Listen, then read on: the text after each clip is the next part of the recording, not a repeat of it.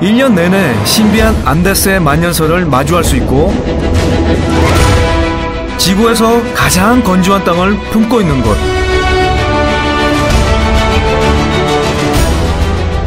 극과 극의 자연이 환상적인 풍경을 선사하는 신이 내린 땅 칠레 안데스의 청정한 자연이 선사한 축복의 땅 그곳의 주인공들을 만나러 갑니다. 누군가에겐 꿈의 여행지가 되고 누군가에겐 풍요로운 삶의 터전이 되는 곳. 눈을 뗄 수 없는 경이로운 자연과 잊을 수 없는 환상적인 경험이 기다리는 곳. 진짜 대단하다. 안데스의 땅. 칠레 여행이 지금 시작됩니다. 지구 반대편 남미 대륙에 위치한 칠레는 비행 시간만 최소 30시간 이상 걸리는 곳입니다. 샌프란시스코와 휴스턴 두 번의 경유 끝에 세계에서 가장 긴 나라 칠레에 도착할 수 있었는데요. 이번 여정은 칠레의 수도 산티아고에서 시작합니다.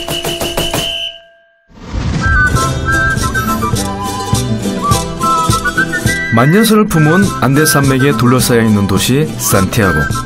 산티아고는 인구 700만의 대도시로 칠레의 정치, 경제, 문화의 중심지입니다. 유럽풍의 정치가 느껴지는 아르마스 광장. 산티아고는 16세기 스페인의 정복자 발디비아 장군이 세운 도시입니다. 광장 주변의 유럽풍 건물들은 식민 시대에 건설된 유산들로 광장엔 칠레의 아픈 역사가 현재와 함께 숨쉬고 있습니다. 이 역사적인 장소엔 하루 종일 많은 사람들로 북적입니다.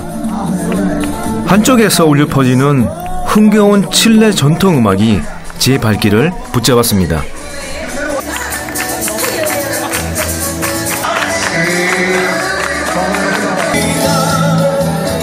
남녀노소 할 것 없이 다 함께 춤을 추는 모습이 참 인상적이었는데요.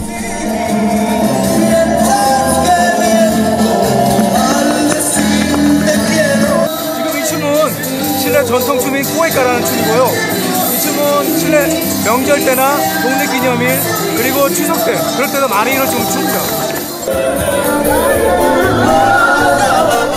꼬에까는 남성이 여성에게 사랑을 표현할 때 손수건을 흔들며 추는 춤인데요.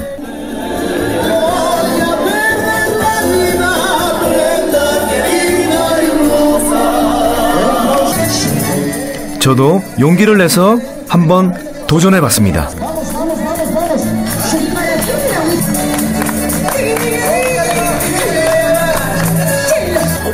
떨려 지금 떨려요. 29년 전 처음 칠레로 이민 왔을 때 이 춤을 배웠었는데요. 오랜만에 추는 춤인데도 어렴풋이 기억이 났습니다.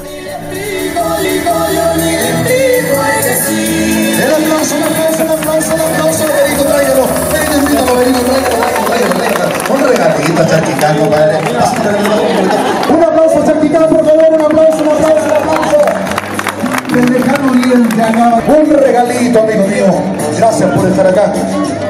Ay, qué lindo. 사람들의 앙코르 요청에 다시 공연에 나섰습니다. 이방인의 춤사위가 신기했던 모양입니다.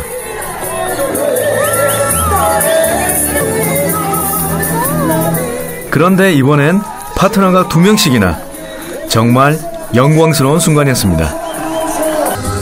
남녀노소가 다 나와서 이렇게 춤추는 걸 보니까 비록 저는 잘못 추지만 저도 흥이 나서 아, 정말 행복하고 기쁘고 같이 출 수밖에 없는 그런 상황이어서 너무 좋았어요. 아. 아르마스 광장이 산티아고를 가장 가까이서 느껴볼 수 있는 곳이라면 산크리스토발 언덕은 산티아고의 전경을 한눈에 내려다볼 수 있는 곳입니다. 산크리스토발 정상까지 등반 코스가 마련돼 있지만 저는 푸니쿨라라는 이동식 기차를 선택했습니다. 아, 아, 지금 올라가고 있는데요. 지금 앞에 산티아고 멋있는 풍경이 아주 쫙 펼쳐지고 있어요. 정상에 가까워지자 산티아고 시내가 한눈에 내려다 보입니다.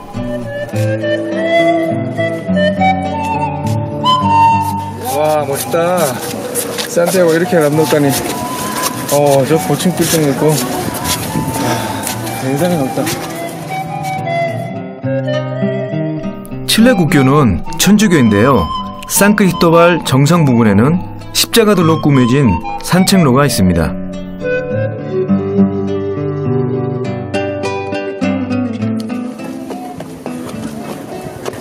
저기 보이는 저 상이 성모 마리아 상입니다.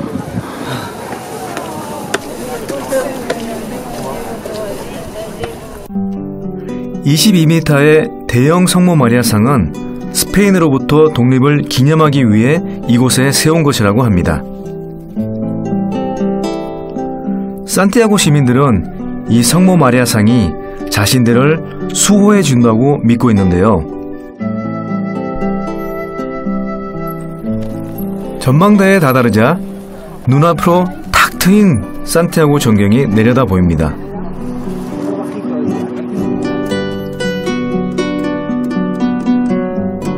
인간이 만들어낸 대도시의 풍광을 만년설이 내린 안데스 산맥이 고봉들이 굽어보고 있었습니다.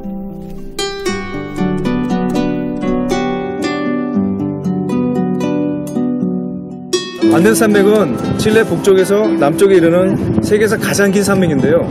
칠레 사람들에게는 없어서는 안 될 아주 중요한 존재입니다. 저는 지금 바로 저 안데스 산맥을 향해 출발하겠습니다. 안개 너머로 희미하게 보이는 안데스의 세계. 저기엔 어떤 이야기들이 기다리고 있을까요?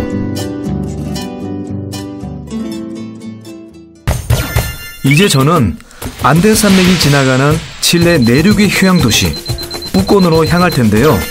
차를 타고 10시간 뿌콘에서 다음 여정을 시작합니다. 뿌콘은 칠레 원주민 마푸체족의 언어로 산맥의 입구를 뜻하는데요. 비제리카 화산 발치에 자리한 작은 마을 뿌꼬는 1년 내내 화산을 오르기 위한 관광객들의 발길이 모여드는 곳입니다.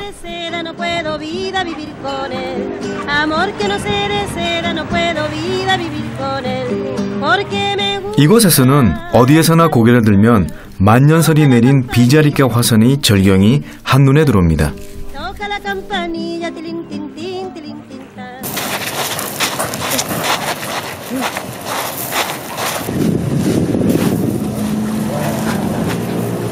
저기 보는 저 화산이 비자리카 화산입니다. 작년까지만 하더라도 화산 폭발로 인해 활동이 아주 많았던 곳인데요. 제가 저산 꼭대기에 꼭 등반해서 멋진 비경을 보고 오겠습니다. 해발 2,800여 미터의 비자리카 화산. 과연 정상은 어떤 모습으로 저를 반겨줄까요?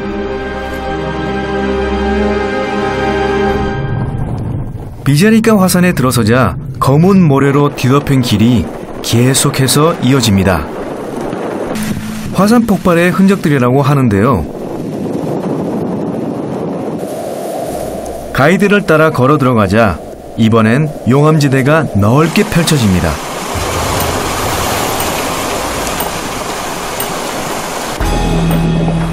안데스에는 2천여 개의 화산이 있지만 그 중에서도 뿌꼬노의 비자리카 화산은 전 세계에서 가장 활발하게 활동하는 활화산입니다.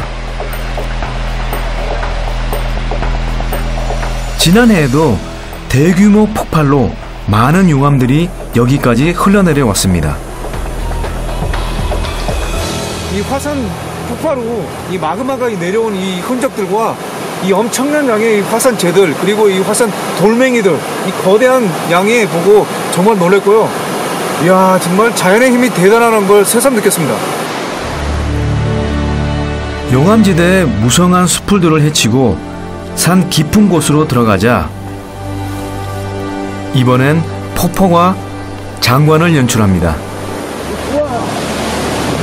폭포가 어마어마합니다. 그런데 놀라운 점은 이 폭포가 불과 1년 전 화산 폭발 때 만들어진 거라고 합니다. Bueno, está acá esa forma. La última, la última erupción, el magma corrió por el valle y deformó una roca. Ah, ya. Por eso se, se formó esta cascada. Este es muy y ya no estaba, es reciente. Wow, qué Un año debe tener más, no tiene. Es nueva, está bonita. ¿eh? precioso. La naturaleza lo, lo, lo, lo provee estas cosas. 언제 다시 폭발할지도 모르는 이 불의 산을 마푸체 원주민들은 영혼의 집이라고 불렀다고 합니다.